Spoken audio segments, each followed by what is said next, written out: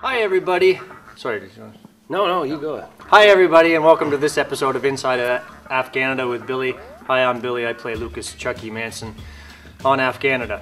My first question for all of my guests is Who are you and what do you do? You're gonna ask it, right? Who are you and what do you do? Oh, I'm Zachary. I'm Zachary Bennett, um, and I like to I like to act. And who, what do I do in Afghanada? Sure. I'm uh, I'm Riddell. He's uh, this guy. He comes in, and he wants to he wants to help rebuild Afghanistan. He's a humanitarian. Excellent. Where were you born and raised? I was born in uh, London, Ontario. I was raised there until I was about five, and then I, I came to Toronto. Excellent. When you were a kid, did you have any uh, nicknames growing up? That I can say in this. Sure. Um, You get there's no uh, there's no censor on this, There's so no you can say whatever you want. uh, do I have any nicknames? I don't think I had any nicknames actually. Like, not like like Gunner or something. Like, Yeah. yeah, no, no, it's just it's Zach. How long have you been acting? Oh boy, 25 years. Okay, so how old were you when you started? I was five.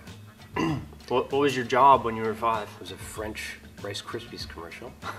Uh, it was with my my sister Mairon, and uh, we were both the kids who reacted to the little uh, snap crackle and pop. Oh, yeah. But it wasn't snap crackle and pop. It was creak crack crock.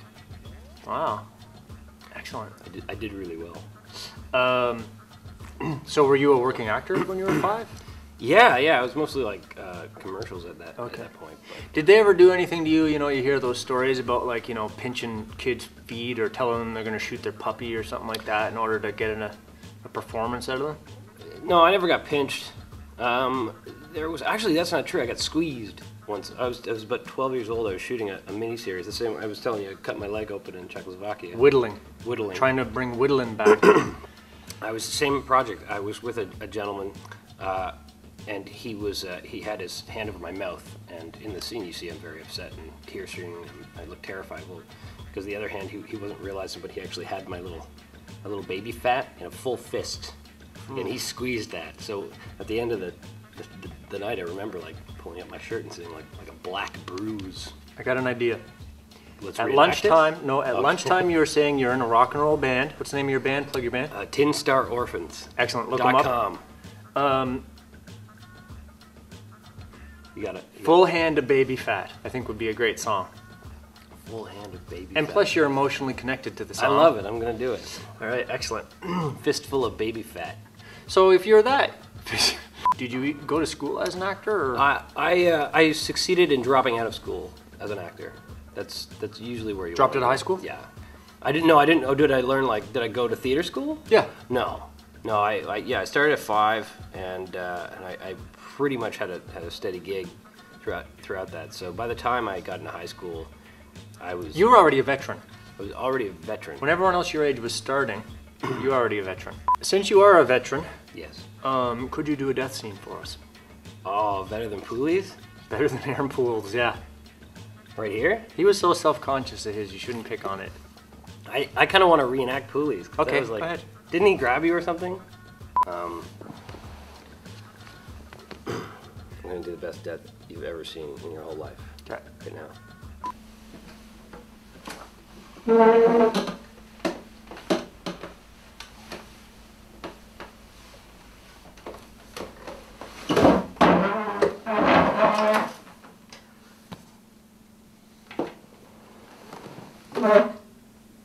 Oh, excellent, excellent.